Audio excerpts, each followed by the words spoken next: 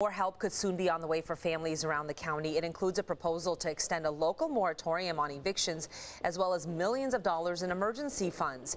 News 8's Evan Irani joining us live now to break it all down ahead of a big meeting today. That, uh, excuse me, next week. That is Evan.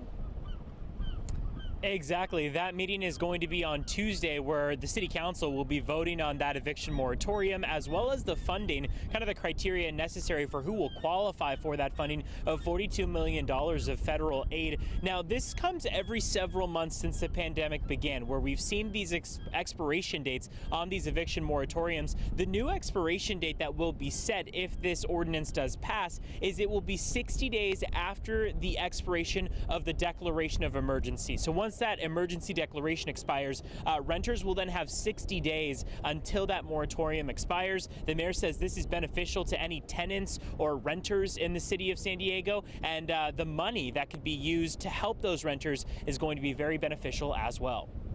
His first priority is helping San Diego respond to and recover from uh, the the pandemic, uh, and one of his long-term uh, goals and priorities uh, is to solve our homelessness crisis.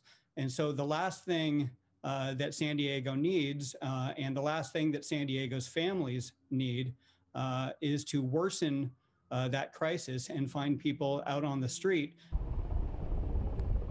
and Mayor Todd Gloria says $42 million in federal funds will be made available as rent relief to families around the county. That money will be distributed by the San Diego Housing Commission, and application details will be made available once they pass that legislation uh, at that city council meeting. On the eviction front, the California state legislature had passed a moratorium preventing eviction through January 30th, so through the end of this month. Gloria says he will bring proposals to the city council on Tuesday to extend that moratorium until two months after the city's emergency declaration declaration is lifted. It's estimated that 700,000 households across California are in jeopardy of eviction and would benefit from this type of uh, ordinance. The same proposal will apply to struggling businesses, preventing business owners, for example, from being evicted until June 30th or 60 days after the emergency declaration is lifted, whichever comes first. So the mayor says that this is a pivotal part of uh, his uh, being in office, is being able to help people with this issue. Of course, no one really expects when they enter office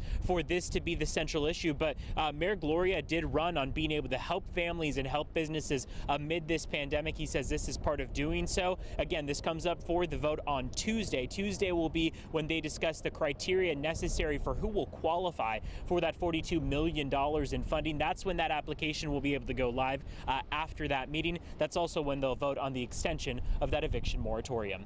I'm Evan Irani, News 8.